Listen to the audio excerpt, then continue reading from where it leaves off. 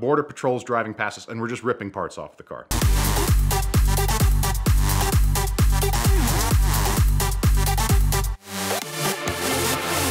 In the world of automotive road rallies, there's a lot of different groups that you can run with, and the one that I frequently go with is called the Dust Ball.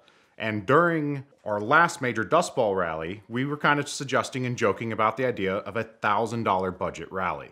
The organizers kind of took to this and said, all right, let's, let's do it. And they introduced the Dust Ball Daredevils. I created a team with a friend, Henry, that lives out in Washington. We had another friend in Texas, Gabe. We all joined up on the team and decided we wanted to find the most impractical vehicle to race a thousand miles through the desert and the mountains, ending in Las Vegas. So we purchased a 1985 Honda Accord stretch limousine.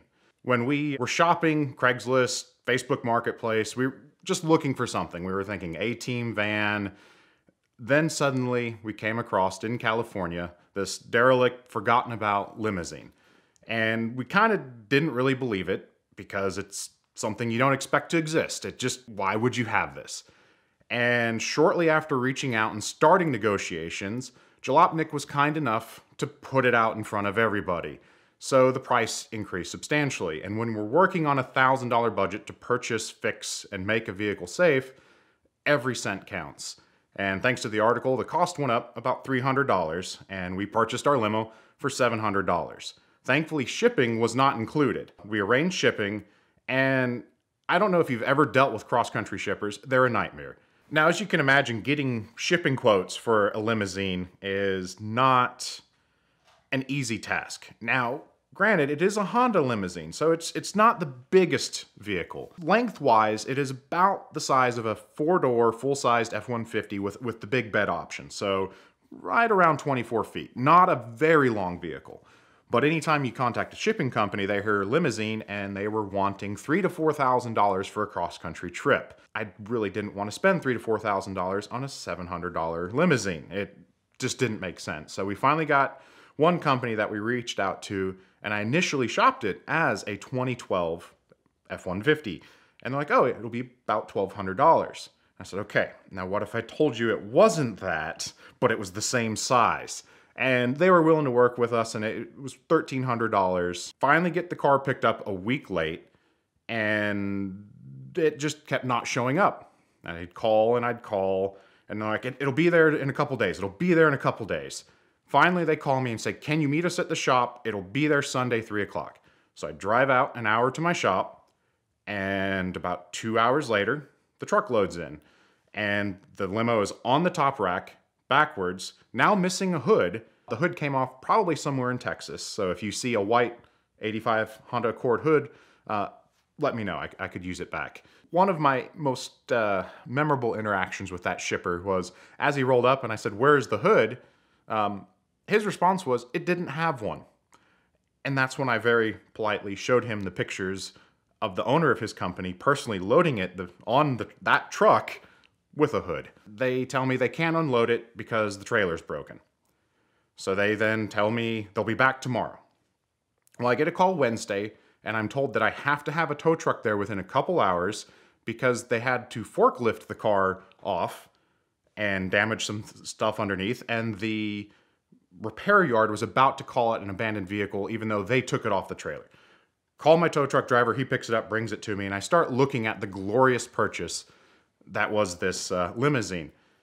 It had a beautiful cloth top at some point. It now is a water retaining nightmare that has created holes throughout the roof, rotted away the entire trunk lining, and there's just water and funk everywhere. Also, the windows were now stuck down at some point during the cross country trip. They felt the need to roll them down, and it is full of water and must and just horribleness. But we start cleaning it, vacuuming out, taking out all the just garbage and spare parts that were piled in this limo, and we start seeing how glorious this thing is. In my research, it was a Marquis Custom Coaches. He had planned to build 300 of these to counteract the wastefulness that was the Cadillac and the town car limo. You didn't need to have such a large vehicle to, to display your opulence. 15 were made, and the best I can find was three. A very beautiful showroom edition, one that was a little bit rough around the edges, and then our beautiful machine. It had a TV, a wet bar, which which was really impressive. It, it was the most optioned of them all. It had uh, no less than four rat's nests. One of them was current. Rear air conditioning, the divider window, a telephone to talk front to back, everything you want in your limousine. Begin to set apart actually cleaning it and getting it ready to race. Uh, needed brakes, of course, the sitting brakes rot. So he worked and scrimped on our budget and, and, and shuffled things around, got new brakes all the way around. Ordered the finest competition, Amazon rated 13 inch tires that you could find. And by competition, I mean just the cheapest ones that I could put in the cart. It had a carbureted engine with the most ridiculous setup I've ever seen. I bought a kit, tried to repair this carburetor, took it apart to find out at least two other people have tried at some point and just ruined the carburetor. There's no hope for it. So that's definitely going to destroy our budget. There is a, a Weber conversion kit for these engines. It's $380. We couldn't afford it. But I also own a right-hand drive, beautiful rare 91 twin turbo R Supra. I have a parts rep for a company that adores my car.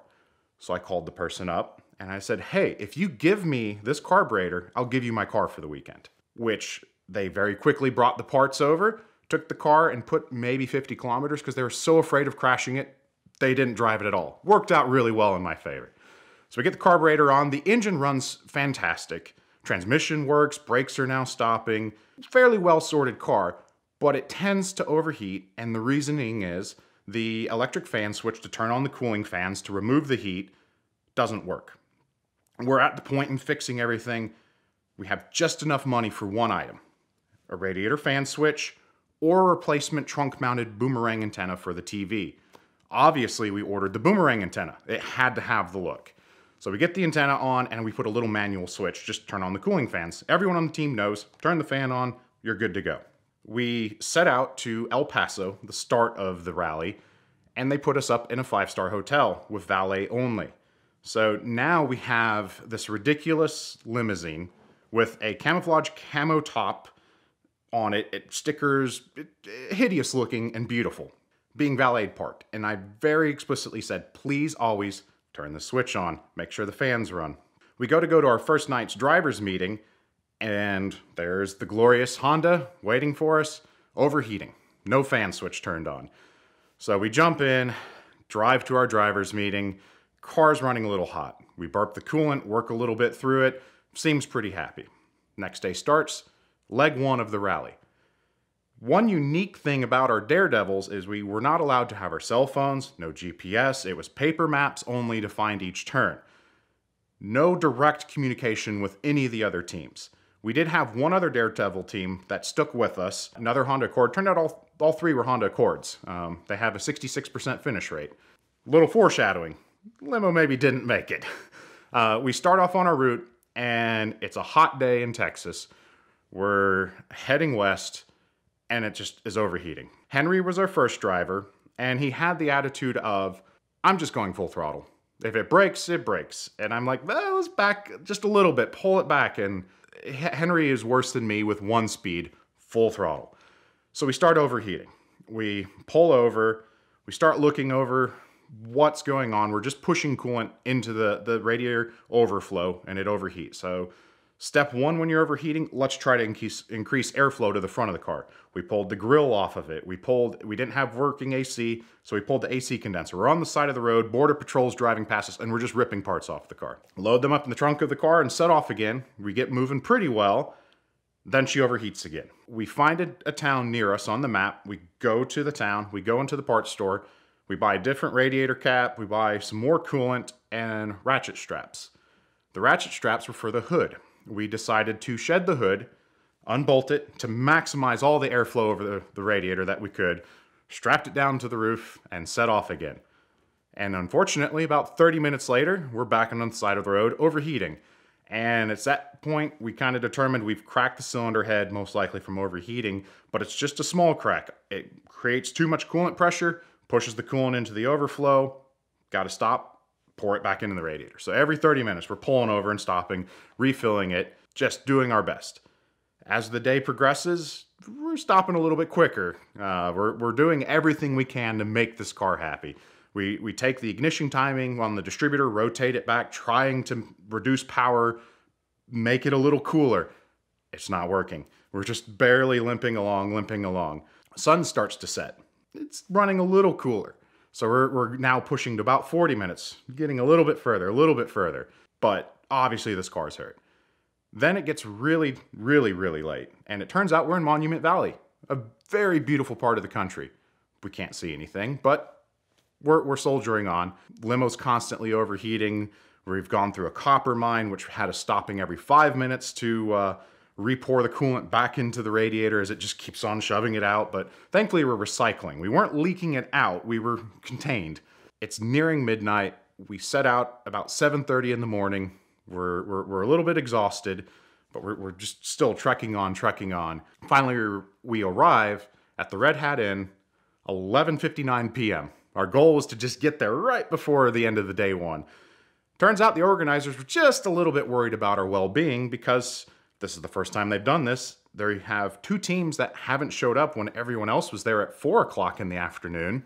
They have no way of reaching out to us because our cell phones are locked away. We are disqualified if we take cell phones out, and our radio systems don't quite reach that far. So I'm pretty sure we took about a year off Andy's life. Andy Medley, the organizer, just completely stressed about us. But we pull in. Henry was dressed in his suit as the driver.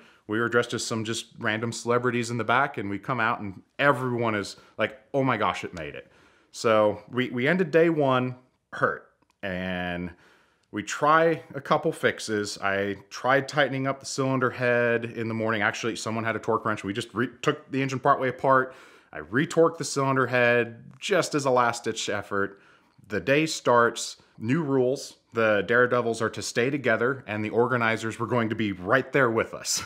no more leaving the limo out, out in the desert alone. And we set out, we get three miles in, and she cuts off, running hot. Do a couple more things, try to limp it along. We get four miles out, and it cuts off again. And the uh, organizers kind of warned us that we were about to hit some very dangerous territory that if the limo died on the hill, it probably wouldn't be good for us. Uh, uh, very dangerous conditions to break down and be on the side of the road. So we uh, got it running just enough to get back to the hotel, asked the hotel if they could keep it to ship it back to us. We were going to hire a shipper and bring it back out to Georgia because through all the, the fights and struggles and overheating and steaming and stopping on the side of the road, we fell in love with the car. We named her Honda Rousey kept on taking a beating and moving on. And there may have been a few beers involved in the plans, but we're now rebuilding her. Uh, we want to turn her into the ultimate rally vehicle, uh, where it's going to get a lot of body work. Um, a lot of body work. The rust has made parts of it just disappear. So we have a new donor car that we're going to cut, weld, restore. Henry works with a company that manufactures a ton of laptops, computers, software. So we're going to outfit it with the highest level of technology that you can possibly have in a nice limo, but this will be in a 1985 Honda Accord limo. We are improving the power plant. We wanted something with a little more power, so we're using a Volkswagen 1.9 liter turbo diesel, and she's being converted to a manual transmission so we can handle some power and uh, we're expecting 200 horsepower, 400 foot-pounds of torque, a larger fuel cell so we can uh, make, make some good ground and hope to debut her this year at the 1,000 Mile Rally the end of April, which gives us about three months of working time to build it, which is, you know, probably about 10 months too short, but we're going to make it happen and uh, bring Honda Rousey 2.0 out. No longer uh, a $1,000 budget car, but brought back to life.